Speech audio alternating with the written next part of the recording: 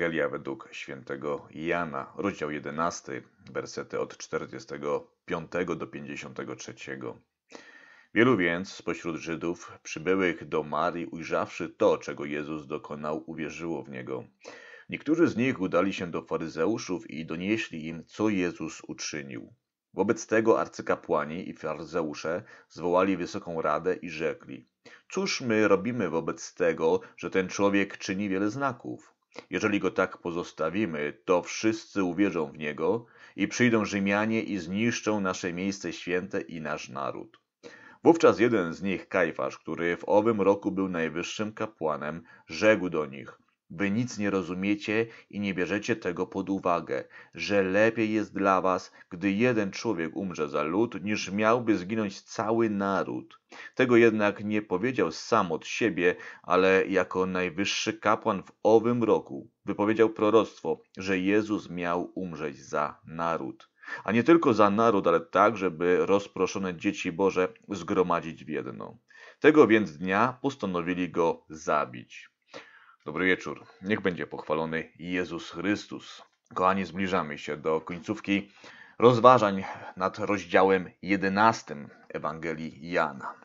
Po tych wszystkich wydarzeniach, kiedy Pan Jezus wskrzesił z martwych Łazarza, czytamy, że wielu Żydów uwierzyło, że Pan Jezus jest Chrystusem, że jest Synem Bożym posłanym od Boga, czyli ta śmierć przyniosła Bogu chwałę, ponieważ wiele osób nawróciło się, uwierzyło w Boga, wypełnienie się tych proroctw, że Jezus jest Chrystusem. Więc widzimy, że ta śmierć była rzeczywiście Bogu na chwałę, tak jak mówił Pan Jezus. Ale to wszystko bardzo niepokoiło przełożonych, Radę Najwyższą, y, arcykapłanów, faryzeuszów, ponieważ jak wcześniej czytaliśmy, kiedy Pan Jezus nauczał, to ludzie nawracali się i przyjmowali naukę Pana Jezusa, a nie naukę Rady Najwyższej. Co ciekawe, przecież Pan Jezus opierał się na Piśmie Świętym, dla nas tak zwanym Starym Testamencie, no i oczywiście ci faryzeusze, ci arcykapłani również na nim się opierali. Ale kiedy szedł Pan Jezus i mówił, to to wszystko brzmiało zupełnie inaczej. Ludzie nawet nam mówili, e, że to jest niesamowite. No on naucza inaczej niż nasi nauczyciele. To jest w ogóle coś pięknego. To on przemawia z mocą. I to jest w ogóle ciekawe. Przecież ta sama podstawa, ta sama baza, te same pisma były podstawą tego nauczania i Pana Jezusa, jak i tych wszystkich faryzeuszów. Dlaczego Pan Jezus tak e, mówił i to się podobało ludziom? No, w tamtych czasach się podobało. No, oczywiście, że nie wszystkim. Dzisiaj troszeczkę mniej się e, podoba. Ale Pan Jezus nic innego nie głosił jak Ewangelię. Ewangelię o Królestwie Bożym. Nie będę się tutaj powtarzał, ale w zeszłym tygodniu właśnie powiedziałem takie kazanie, można go znaleźć na YouTube, Ewangelia, której nie chcemy słuchać. I Pan Jezus mówił Ewangelię o Królestwie Bożym, o tym, że jest możliwość, aby mieć relację z Bogiem w duchu i w prawdzie, że to wszystko jest dostępne dzisiaj dla człowieka, o ile odrzucimy nasze przekonania, nasz grzech, a powrócimy do myśli Bożej. A jest to możliwe właśnie dzięki Jezusowi Chrystusowi, który przez swoją śmierć i swoje zmartwychwstanie pojednał nas z Bogiem. To była ta moc i to się wszystko różniło, to co mówi Pan Jezus, od tego, co mówili nauczyciele. On mówił, że możemy my bezpośrednio powrócić do tej relacji z Bogiem. Natomiast arcykapłani, faryzeusze mówili, że musimy wiele rzeczy zrobić i dopiero wtedy Jezus, czy Bóg wtedy, tak, łaskawie na nas może spojrzy, lekko otworzy jakąś powiekę, no a generalnie, żeby otworzył drugą powiekę i na nas przychylnie spojrzał, to musimy jeszcze wiele rzeczy e, zrobić. No tak żyli po prostu, taką religię, taką dewocję, taki system wierzeń, o może to chyba najlepsze jest, system wierzeń stworzyli międzyczasie arcykapłani i uczeni w piśmie, faryzeusze, saduceusze i nakładali te ciężary na ludzi. Natomiast kiedy Pan Jezus mówił, kiedy czynił te wszystkie cuda, było widać, że on to robi z miłości, troszcząc się o ludzi. Ale w tym wszystkim też przecież czytamy, że kiedy nauczał te piękne słowa, które były zupełnie inne niż to, co nauczyciele, też niektórzy dostrzegali, że była tam i twarda mowa, której nie dało się słuchać, nie dało się zdzierżyć, no i niestety pomimo to, że były piękne słowa, kazanie na górze bardzo piękne, pokrzepiające, budujące, to były też i też te twarde słowa. Pomimo tych twardych słów, było jakieś przekonanie, że jest to prawda Słowa Bożego. Nie wiem, czy pamiętacie, ale w dziesiątym rozdziale, tam pod koniec, również doszło do takiej sceny, gdzie Pan Jezus rozmawia właśnie e, z Żydami, którzy próbują go nawet ukamienować, i, i Pan Jezus pyta się: No ale dobra, za który z tych uczynków dobrych chcecie mnie ukamienować. A oni odpowiadają, nie, że za żaden dobry uczynek, ale i tutaj przeczytam może z 10 rozdziału od 33 wersetu. Odpowiedzieli mu Żydzi mówiąc, nie kamienujemy cię za dobry uczynek, ale za bluźnierstwo i za to, że ty, będąc człowiekiem, czynisz siebie Bogiem. Odpowiedział im Jezus: Czyż w zakonie waszym nie jest napisane: Ja rzekłem, bogami jesteście? Jeśli nazwał bogami tych, których doszło słowo Boże, a pismo nie może być naruszone, do mnie, którego ojciec poświęcił i posłał na świat, wy mówicie: bluźnisz, dlatego że powiedziałem: Jestem synem Bożym? Jeśli nie wykonuję dzieła Ojca mojego, nie wierzcie mi. Jeśli zaś wykonuję, to choćbyście mi nie wierzyli, wierzcie uczynkom, abyście poznali i wiedzieli, że we mnie jest Ojciec, a ja w Ojcu. I teraz powrócimy do dzisiejszego naszego fragmentu, który czytaliśmy.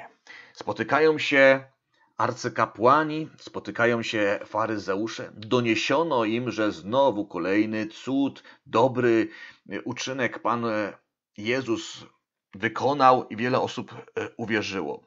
I ci nauczyciele Izraela nie zgadzali się ze słowem, które głosi Pan Jezus, chociaż przecież podstawą było właśnie to samo pismo. No, ale czasami ktoś mówi może troszeczkę inaczej, chodzi mi bardziej o formę, może przyjaźniej, no ale mówi wciąż na podstawie e, pisma. Możemy powiedzieć, ta mowa mi się mm, nie podoba. Możemy tam szukać, doczepiać się, wyciągać z kontekstu, zwracać uwagę na jedno słowo, a może się przejęzyczył czy nie. No, bywa tak. I dzisiaj również, kiedy mm, ja na przykład nagrywam mm, podcasty, czasami może się przejęzyczę, czasami Wypowiem coś jako skrót myślową i rzeczywiście dla mnie jest to zrozumiałe, ktoś inny to zrozumie inaczej. Może tak być, aczkolwiek no, podstawą zawsze jest rozważanie. I możemy się czepiać, dzisiaj ludzie bardzo się czepiają, dużo hejtują właśnie, bo coś im się e, nie spodobało. Ale i wtedy również hejtowali, im się nie podobało. Natomiast słuchajcie, kiedy Pan Jezus mówił, to nie dość, że mówił, ale też tak samo postępował. No i mówi, dobra, słowom nie wierzycie, ale uwierzcie uczynkom, dobrym uczynkom. No bo tak to ma właśnie wyglądać. To jest pięknie pokazane, że dzisiaj, kiedy są nauczyciele, którzy nauczają, dobrze, że nauczają, ale niech jeszcze i oni postępują według tego, co nauczają. No, w dzisiejszym kościele różnie to bywa. Nie chcę mówić, czego jest więcej, ale na pewno dużo osób naucza, ale zupełnie inaczej postępuje. Ale na całe szczęście jest pełno nauczycieli, którzy głoszą Słowo Boże, prawdę Słowa Bożego i również tak samo postępują, tak samo się zachowują, głoszą, ale też i żyją tym e, Słowem. No i kiedy ktoś mówi, no piękne słowa, to zawsze możemy powiedzieć, dobra, to jest teoria, ale praktyka. Ileż to razy słyszałem, dobra, dobra, e, to jest tylko teoria, a w praktyce jest zupełnie inaczej. No nie, ze Słowem Bożym tak nie jest. Jeżeli Słowo Boże coś wypowiada, ogłasza w teorii, to jest to też możliwe do zrealizowania w praktyce. I właśnie my mamy to wszystko pokazywać. I wielu jest na szczęście jeszcze nauczycieli w dzisiejszych czasach, którzy tak żyją i nie da się temu zaprzeczyć, że jeżeli oni głoszą i tak żyją, to znaczy, że jest to do wykonania. Ludzie, kiedy właśnie słuchają, często zachwycają się, ale potem mówią: No ale dobra, ja tego tak nie mogę zrobić, u mnie to nie działa. No i oczywiście zaczynają tam dopatrywać się, usprawiedliwiać: No wiesz, ale ja mam gorszą sytuację. No ja osobiście często słyszę: No wiesz, ty tak możesz żyć, bo twoja cała rodzina jest nawrócona, a u mnie mój współmałżonek nie i tobie jest lepiej. No takie na przykład wymówki. Ja zawsze wtedy powtarzam, no ale wiecie, moja żona nie zawsze była mm, nawrócona, zresztą ja też. Też mamy przecież problemy, też mamy różnego rodzaju choroby, też mamy oczywiście zobowiązania jakieś finansowe, też musimy iść do pracy, też mamy dzieci, musimy się nimi zająć. No wie, no to tak naprawdę w czym jest nam lepiej? No i oczywiście można szukać tych wymówek, ale każdy wie i ci e, kapłani również wiedzieli, no tym czynom nie da się zaprzeczyć. No rzeczywiście tak jest. Jak on naucza i głowili się, jak to wiesz. Bo słowo to jeszcze można podważyć. Właśnie tu wyciągniemy z kontekstu, tam coś dodamy. No ale tym czynom, które jeszcze wszyscy widzieli dookoła, wszyscy widzą, że ten kaznodzieja, tak jak mówi, tak też żyje. No jak temu wszystkiemu y, zaprzeczyć? No i ludzie zaczynają kombinować, aby coś tutaj zrobić. Ale dlaczego tak w ogóle się dzieje, że my chcemy zaprzeczać albo udowadniać, słuchaj, drogi kaznodziejo, ty nie masz racji. Tak się nie da żyć. No ja wiem, jest Biblia, ale Biblia Biblią, życie życiem. Tylko nie da się. No ale właśnie kiedy on żyje, to potwierdza. Dlaczego ludzie nie chcą przyjąć tych rad, tych, tego doświadczenia? Dlatego, że żyją w religii, a dokładnie w swoim systemie wierzeń. Dwa tysiące lat temu ludzie stworzyli sobie swój system wierzeń i od tamtego czasu my również jako ludzie stwarzamy sobie systemy wierzeń. Niestety o zgrozo. Dzisiaj ludzie lubią czytać Słowo Boże i chcą sobie je rozumieć, jak im pasuje. Czytają o pewnych rzeczach, no i tak, mnie to dzisiaj nie pasuje, bo dzisiaj rzeczy się zmieniły. Dzisiaj oczywiście wszyscy lubią LGBT, więc my musimy lubić LGBT, Biblia nie lubi. Czasy się zmieniły, wtedy było inaczej. To na przykład. Kiedyś ludziom pewnie było łatwiej, dzisiaj ja muszę chodzić do pracy i nie mogę mm, być w społeczności, nie mogę poświęcić się całkowicie y, Kościołowi. Tamci mieli o wiele łatwiej. Zaczynamy kombinować i stwarzamy sobie w tym wszystkim system wierzeń.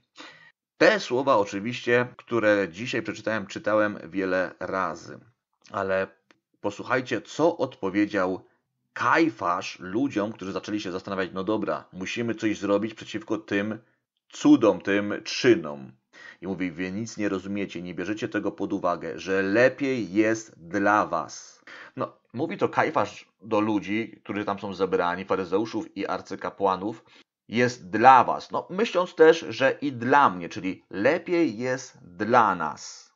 No właśnie, bardzo często w całej wierze w Jezusa Chrystusa wciąż myślimy o nas, o sobie samym, bo lepiej jest dla mnie. Chcemy czytać Słowo Boże, chcemy się nim zachwycać, ale do momentu, kiedy to jest dobre dla nas. Ale kiedy Słowo Boże zaczyna od nas czegoś wymagać, wtedy staramy się już właśnie zabić to Słowo. Tak jak oni chcieli zabić Chrystusa. A przypominam, że czytamy Ewangelię Jana i Pan Jezus tutaj przedstawia się jako Słowo. Kiedy my czytamy Słowo, chcemy się do niego dostosować, ale dla nas jest to niewygodne, to my dokładnie zachowujemy się tak, jak ci arcykapłani faryzeusze. Zabijamy Jezusa. Kombinujemy, jak go zabić. Wiem, że może to są ostre słowa, ale kochani, Pan Jezus jest słowem, tak się przedstawił. I kiedy my nie chcemy poddać się pod to słowo, to my szukamy okazji, aby zabić Syna Bożego. Jeżeli są nauczyciele, pokazują, że to jest prawda, da się tak żyć, ale my wciąż staramy, ale dla nas jest lepiej tak, to niestety tworzymy sobie własną religię, własny system religijny, własny system wierzeń, bo my tak chcemy żyć. Tak było kiedyś i niestety dzisiaj tak też jest i to naprawdę jeszcze spotęgowało dzisiaj. My chcemy zabić Słowo, zabić Jezusa Chrystusa, bo chcemy żyć po swojemu. A kochani, tu jest napisane, po co w ogóle przyszedł Jezus Chrystus. I jest powtórzona Ewangelia. Jezus rzeczywiście musiał umrzeć, ale on już umarł za naród, za nas, za mój grzech, aby zgromadzić dzieci Boże w jedno. Kochani, ale Jezus Chrystus już umarł, to wszystko wykonał. Dzisiaj, kiedy my sprzeciwiamy się Jezusowi, Jemu, Jego Słowu, to my powtórnie zabijamy Jezusa Chrystusa, czy też chcemy zabić, uśmiercić Jezusa Chrystusa. To są naprawdę poważne sprawy. I wiem, że ciężko się może tego słucha. Ja wiem, że wielu z nas ma wiele obowiązków, ma wiele rzeczy na głowie, ma rodziny, ma pracę, ma dzieci. Jak najbardziej, ja to wszystko wiem. Ale wciąż to Słowo Boże jest dla nas dostępne i Jezus Chrystus mówi, że możemy mieć relacje z Nim w duchu i w prawdzie. I wiem, że myślimy, no właśnie, ja mam relację. Ale nie będzie tej relacji, jeżeli nie odrzucimy grzechu. Jeżeli nie odrzucimy rzeczy, które wchodzą na pierwsze miejsce albo na wyższe miejsce niż Bóg, niż Jezus Chrystus. Jezus Chrystus musi być na pierwszym miejscu. Wtedy Jemu się poddajemy. Niestety do nas przychodzi dzisiaj często taka myśl, ale dla mnie jest lepiej tak. Ja wiem, że tu jest napisane, ale ja nie mogę i dla mnie lepiej będzie tak. Kochani, jeżeli my staramy się wprowadzić, co jest dla nas lepiej, to my w ogóle nie rozumiemy istoty relacji z Bogiem. W relacji z Bogiem chodzi o to, że nie ma nas, jest tylko i wyłącznie Jezus Chrystus. Jest Bóg na pierwszym miejscu. Nie ma nas. My musimy umrzeć. Nasze ja musi umrzeć. Jeżeli w całym tym słowie, które przychodzi, dotyka, myślimy, no ale u mnie się tak nie da, ale dla mnie to nie będzie dobre, ale ja tak nie mogę, to pamiętajcie, że cały czas wskazujecie na ja. Ja. I myślicie o ja o sobie samym, ale mamy myśleć o Jezusie Chrystusie. Nie ma nas, nie ma lepiej dla nas. W religii chrześcijańskiej, w wierzeniu chrześcijańskim, jakkolwiek sobie to nazwiecie, chodzi tylko i wyłącznie o Chrystusa. Jeżeli jesteśmy chrześcijanami, to dlatego, że podążamy za Chrystusem. Patrzymy tylko na Chrystusa, bo chodzi tylko i wyłącznie o Chrystusa. O nas zupełnie tutaj nie chodzi. Jeszcze raz, jeżeli jest w tym wszystkim, ale ja nie mogę, nie mam czasu, nie dam rady, to niestety chcemy zabić Jezusa Chrystusa. Jest dla nas lepiej i zachowujemy się dokładnie jak arcykapłan i jak faryzeusze. Kochani, może straszny, może niedobry odcinek e, tego podcastu, ale cóż na to poradzę?